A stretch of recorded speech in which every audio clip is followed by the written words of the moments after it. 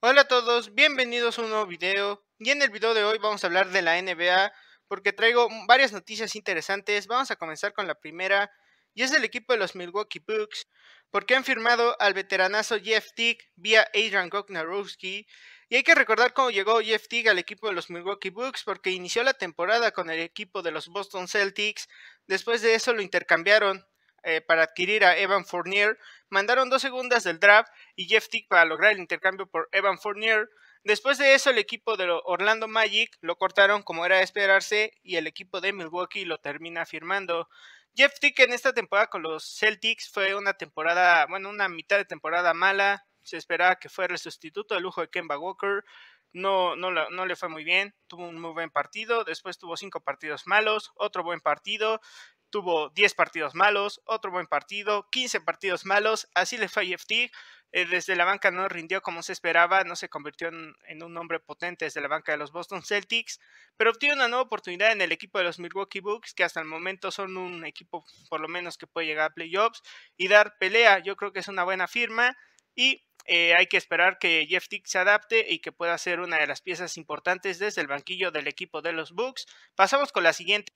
Y es de Dennis Schroeder porque el equipo de Los Ángeles Lakers le hicieron una oferta, una extensión de contrato a Dennis Schroeder y él mismo rechazó. La oferta era de 4 años y 84 millones de dólares, la cual Dennis Schroeder rechazó y no la, pues, no la quiso aceptar, lo cual hace dudar bastante de qué es lo que va a pasar con Dennis Schroeder el siguiente año que va a ser agente libre. Este, yo creo que es, es muy buen jugador y se debería quedar en Los Ángeles Lakers. Pero bueno, cualquier cosa puede pasar. No sé si Dennis Schroeder de plano se quiera ir. No sé si está esperando un poco más de dinero. Para mí esa oferta era buena. Cuatro años, 84 millones de dólares. Pero bueno, las cosas se están complicando con este jugador que al parecer buscaría un poco más de dinero. Porque si estás un buen equipo como Los Ángeles Lakers, pues y te están pagando un buen billete, pues yo me quedaría y seguiría en el equipo de los Lakers. Pasamos a las siguientes noticias porque son del equipo de los Lakers, porque tienen la mira a dos jugadores para reforzar su plantilla, para reforzar su banca de cara a playoffs. Esos dos jugadores son Otto Porter Jr. y Avery Bradley. Lo de Avery Bradley parece ser que el equipo de Houston Rockets lo va a cortar porque el equipo de Houston está en reconstrucción. Avery Bradley es un jugador que le sirve más a los equipos contendientes, como por ejemplo a los Lakers. Ya conoce a los Lakers, no jugó en la burbuja de Orlando por el coronavirus, por temor a contagiarse de coronavirus, pero es un jugador que a la defensa aporta mucho, también tiene ofensiva y si lo corta el equipo de Houston Rockets podría ser y llegaría al equipo de Los Ángeles Lakers, lo cual estaría muy bien para el banquillo y la defensa. Pero en caso de que Bradley no lo termine cortando el equipo de Houston o en caso de que Bradley se vaya a algún otro equipo que no sean los Lakers, tendrían de plan B a Otto Porter Jr., que hasta el momento, al principio había dicho Orlando Magic que lo iban a cortar, hay que recordar cómo llegó, vino en, el intercambio de Nikola Vucevic, que llevó a Vucevic al equipo de Chicago Bulls.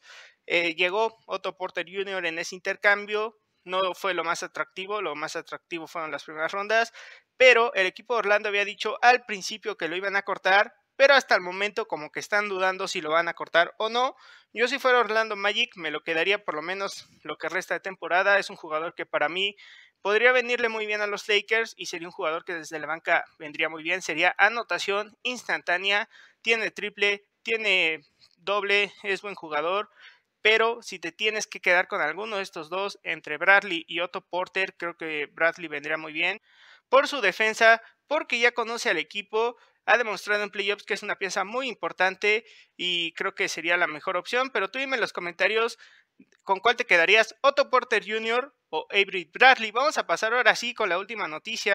Es de los Lakers porque LeBron James ha estado reclutando a Stephen Curry desde el All-Star Break, eh, o sea, cuando terminó el All-Star Game. El LeBron James pues está reclutando a Stephen Curry para que se una al equipo de los Lakers la siguiente temporada. Según Brian Windhorst, yo creo que esto no va a suceder. Stephen Curry es muy fiel a los Warriors, es un jugadorazo, es un jugador que prácticamente ya es una leyenda en el equipo de Golden State Warriors. Yo creo que los Golden State Warriors le van a intentar reforzar ese equipo para que sea contendiente, tal vez intentando eh, hacer un cambio por Bradley Bill o por Carl Anthony Towns. Si Stephen Curry se va a los Lakers sería algo muy raro porque sería como traicionar a los Warriors, ya que son rival divisional y aparte te irías a, pues, a, tu rival directo que son Los Ángeles Lakers. No creo que pase, pero la verdad sería una locura ver a Stephen Curry y LeBron James en Los Ángeles Lakers. Imagínate, eh, ni siquiera tienes que iniciar la temporada, o sea, les das el anillo sí o sí. Pero bueno, eh, ya sabes, suscríbete, deja tu like y hasta pronto.